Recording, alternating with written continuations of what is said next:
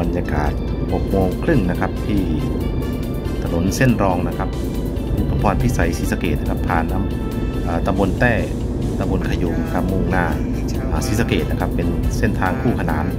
ฝั่งทางด้านทิศใต้ของเส้น 226 นะครับ เส้นนี้ก็จากสี่แยกในตัวอำเภออุพรนะครับ ตรงมาทางด้านทิศตะวันออกนะครับ ก็จะมาเป็นเส้นรองเส้นนี้นะครับ ผ่านบ้านมาลับผ่านบ้านแต้นะครับ บ้านขยูนะครับบรรยากาศ6โมงกว่ายามเช้านะครับ เช้านี้อุณหภูมิประมาณ 24-25 องศานะครับยามเช้านะครับ แต่ตอนสายๆเนี่ย 37 ขึ้นนะครับ ร้อนมากนะครับที่สเกต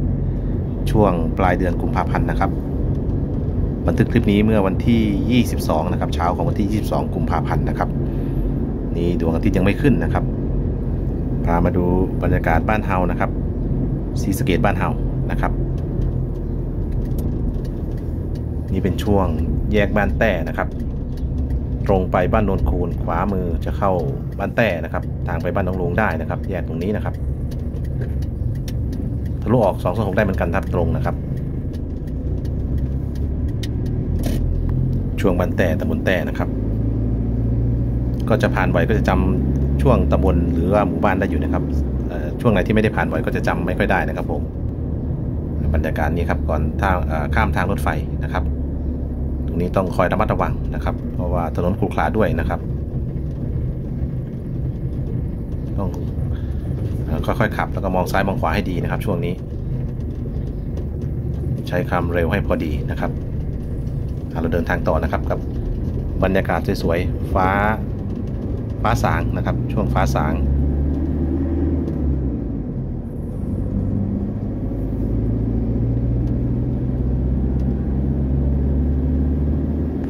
ช่วงนี้ไม่ค่อยมีวัวควายนะครับ ตอนเช้าที่ไล่ออกไปผูกในทุ่งนา หรือว่าผมเดินทางมาสายหรือเปล่าก็ไม่แน่ใจนะครับแต่ไม่ค่อยเห็นนะครับวัวควายข้ามถนนแต่ด้านข้างก็มีอยู่นะครับ นี่เป็นสัตว์คู่วิถีของชาวไร่ชาวนา หรือว่าชาวศรีสะเกดนะครับที่มีการเลี้ยงวัวเลี้ยงควายในควบคู่กับการทำนานะครับ หรือว่าปลูกผักนะครับทำเกษตรนะครับเรียกว่าเป็นสัตว์เศรษฐกิจนะครับวัว เราดูแสง สวยๆไปด้วยกันนะครับ ก่อนพระอาทิตย์จะขึ้นนะครับ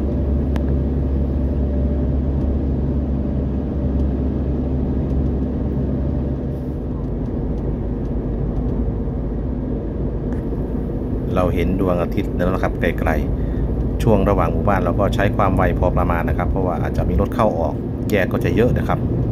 ทุกที่ที่ผมขับรถไปถ้ามีหมู่บ้านข้างหน้าก็จะชะลอนะครับ ลดความเร็วลงนะครับ ช่วงไหนที่ทำความไวได้ก็จะทำนะครับถนนโล่งๆนะครับเขตชุมชนนี้ต้องระมัดระวังเลยนะครับ ยิ่งมีเขตโรงเรียนอย่างนี้เขาจะตีเส้นเป็นสีแดงให้ชะลอความเร็วเป็นลูกระนาดเป็นคลื่นนะครับ ไว้เตือนว่าเราว่าต้องลดความเร็วลงนะครับ ปกติก็จะไม่ได้ผ่านเส้นนี้นะครับบ่อยนะครับนานๆจะผ่านทีนะครับเลย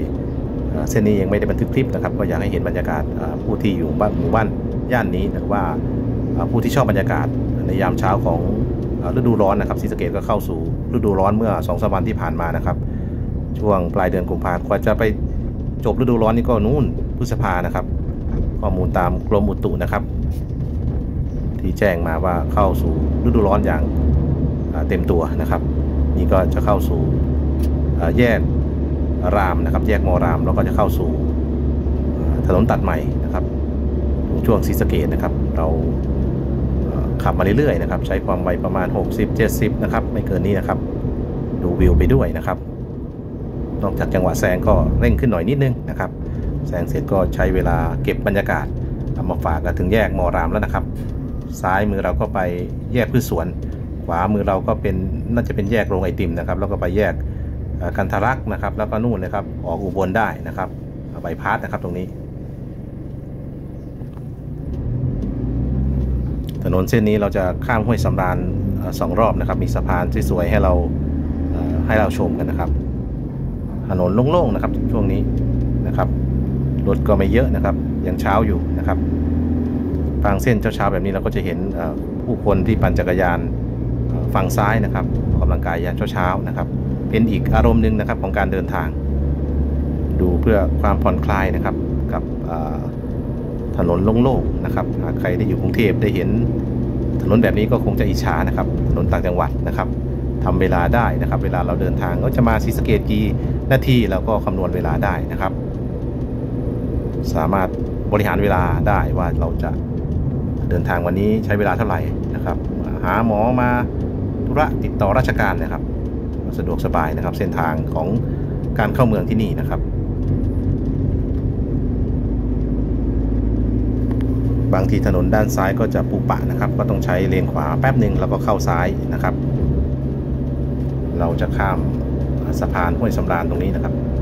ในส่วนที่โคดเคี้ยวนะครับ ข้ามไปแล้วหนึ่งหนึ่งครั้งที่หนึ่งนะครับสะพานหนึ่งนะครับขอเรียกว่าสะพานหนึ่งแล้วกันนะครับ แล้วเราจะไปข้ามอีกรอบนะครับมันเป็นความโคดเคี้ยวของห้วยสำราญยังไงไม่รู้ผมก็ไม่แน่ใจนะครับ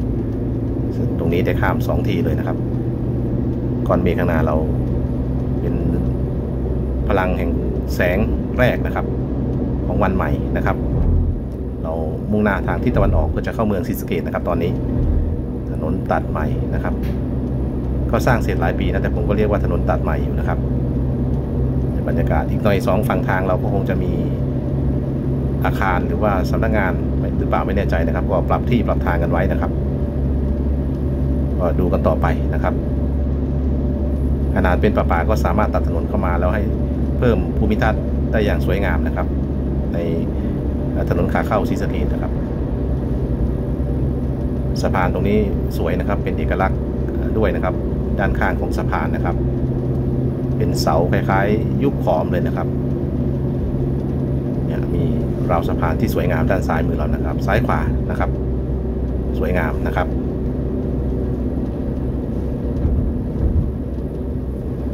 ตัดใหม่นะครับ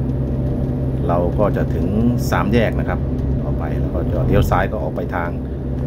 สะพานขาวหรือว่าโรงพยาบาลตรงไป แล้วก็จะออกถนนวงแหวนได้อีก แล้วก็ถ้าเลี้ยวซ้ายอีกทีก็จะไปเข้าขนส่งนะครับจังหวัดศรีสะเกดสามารถตัดเข้าเมืองได้หลายหลายจุดนะครับ ตรงนี้โซนศรีสะเกดที่ตะวันตกเนี่ยใช้บริการถนนเส้นนี้ได้นะครับ โล่งๆดีนะครับ มาตอนเช้าตอนบ่ายผมเคยวิ่งก็ โล่งๆแบบนี้นะครับ วิ่งสะดวกดีนะครับ เราถึงสามแยกแล้วนะครับขวามือเราก็เป็นสวนสมเด็จนะครับ ถ้าเราจะเลี้ยวขวาไป ซ้ายก็เป็นวิทยาลัยการอาชีพนะครับ วิทยาลัยเทคนิคนะครับ สกวนะครับ โรงพยาบาล ห้างซุนเฮงไปได้นะครับ ก็เชื่อมกันหมดนะครับถ้ามาถึงจุดนี้นะครับ อ่า แล้วก็วนออกนะครับ เป็นสะพานขาวอันนี้เส้นหลักนะครับ 226 นะครับ วันนี้ก็ได้มีโอกาสทุมาธุระนะครับที่ศรีสะเกดนะครับเก็บบรรยากาศของถนนในยามเช้ามาฝากท่านผู้ชมนิคมวันทัวร์ทุกท่านนะครับ ขอบพระคุณที่รับชมนะครับ พบกันใหม่ในคลิปต่อไปนะครับ สวัสดีครับ